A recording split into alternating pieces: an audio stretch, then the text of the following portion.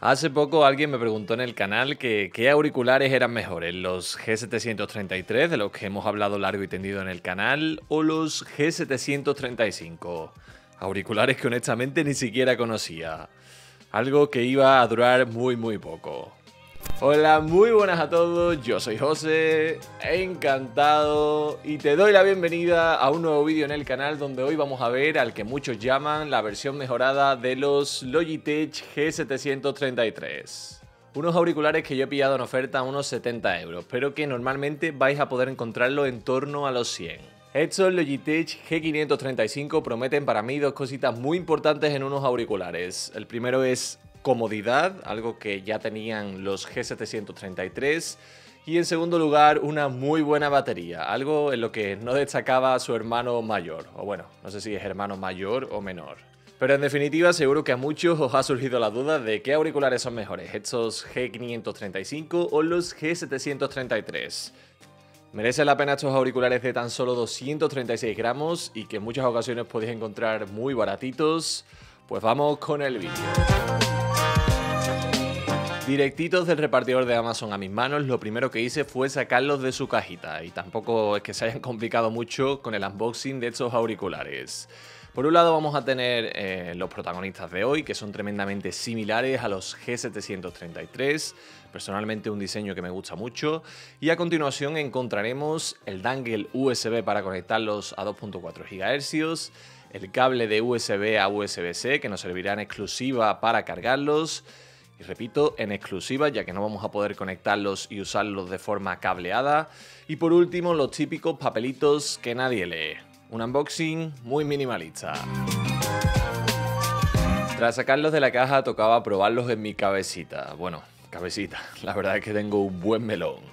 Y para hablar de comodidad toca hablar de diseño, ya que contamos en este caso con una estructura de plástico y una diadema elástica en suspensión que además de ser bastante estética, distribuye el peso de estos auriculares en tu cabecita, peso que es de tan solo 236 gramos siendo después de los G435 con 165 gramos los auriculares más ligeros que han pasado por el canal. Esto sumado a que también son ajustables y que contamos con espuma viscoelástica en las copas, hacen de estos auriculares una opción genial para largas sesiones de gaming o de teletrabajo. De hecho, y luego probaremos su micro, creo que son de los mejores auriculares calidad-precio para teletrabajar.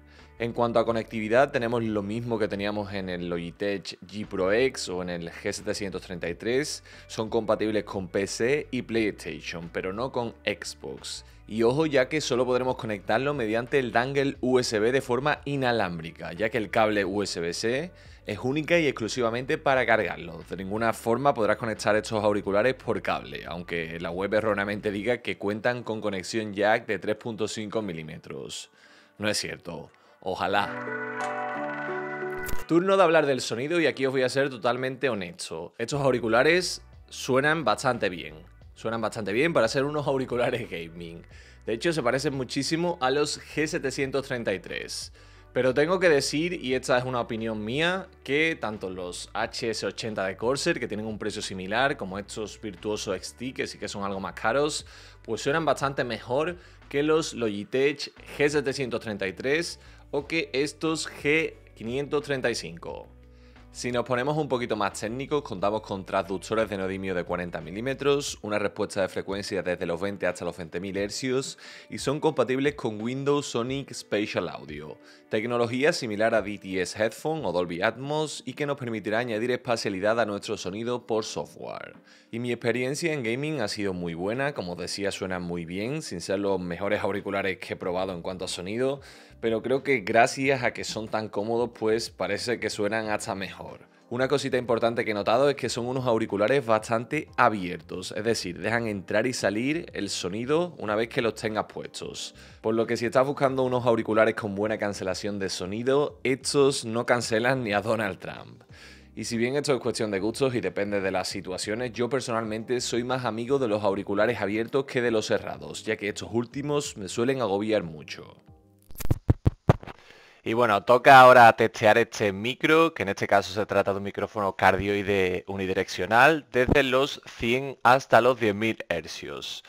Y en este caso lo vamos a hacer mientras os enseño eh, lo que sería el software de, este, de estos auriculares, de estos G535 que en este caso nos va a dar la posibilidad de poder controlar, por ejemplo, lo que sería el volumen desde aquí, desde el software, también el volumen del micrófono. Entiendo que ahora me estaréis escuchando un pelín más bajo y ahora un pelín más alto.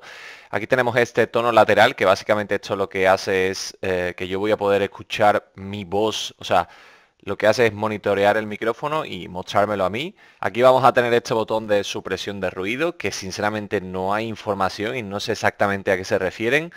Eh, pero bueno, está así activado, pues lo vamos a dejar así. Y aquí vamos a tener este check que es para desactivar o activar el ecualizador avanzado. Si lo dejamos desactivado vamos a poder controlar graves y agudos y si lo activamos vamos a poder crear perfiles o usar los que vienen aquí preseteados. Por ejemplo, ahora mismo estaríamos en plano, que es el que viene por defecto, pero vamos a poder cambiar, por ejemplo, a juegos FPS, a comunicaciones, cinematográfico y un montón de perfiles. De hecho, puedes buscar más y adaptarlos a lo que sería tu... Eh, el uso que tú le vayas a dar. No sé qué diferencia hay de un juego de FPS a uno MOBA, sinceramente, pero bueno. Parece ser que en los, en los MOBA la frecuencia 4000 eh, eh, hay que bustearlas a tope. Por último, y para mí una de las configuraciones más importantes es que vamos a poder configurar el apagado automático. O sea, si no usan los auriculares en 5 minutos, pues se van a apagar y con esto vas a ahorrar un montón de batería. Como ya te digo, el software tampoco es que tenga muchas cosas. Pero bueno, por lo menos nos permite un poquito ecualizar el audio y ponerlo a nuestro gusto. Mi opinión personal sobre estos G535 lo voy a explicar de forma sencilla. Si pudiéramos crear una gráfica eh, del 0 al 10 entre los eh, G435 y los G733, estos G535 estarían en el 9. Y con esto quiero decir que son unos auriculares clavaditos a los G733, más allá de algunas diferencias, como por ejemplo que en este caso el micrófono, como estáis viendo, no es extraíble. Y que tampoco tenemos eh, las luces RGB que los G733 tendrían por aquí. Aparte de esto, no hay demasiada diferencia. Y bueno, otra cosita que quería contaros es que mm, no sé si esto es subjetivo o es real, pero me ha resultado como 1-2 milímetros más pequeños que los G733.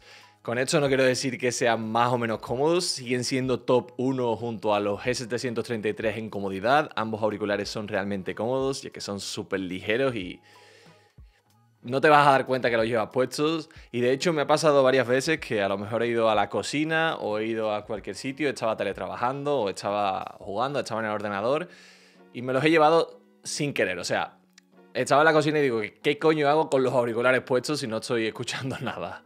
Eso sí, en algo en lo que mejora a los S733 es en la batería, que en este caso, bajo mi experiencia, pues me ha durado unos 3 o 4 días de intenso uso, aunque esto va a depender obviamente del uso que tú le des. Según Logitech, pues dura unas 33 horas, eso sí, si lo tenemos al 50% del volumen. Y por cierto, a la pregunta de cuál elegiría yo, si estos o los G733, yo personalmente me quedo con estos G535, que además son más baratos.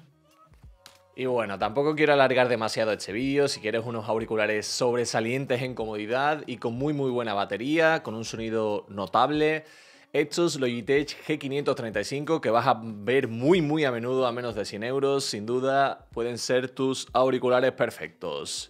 Un abrazo, crack.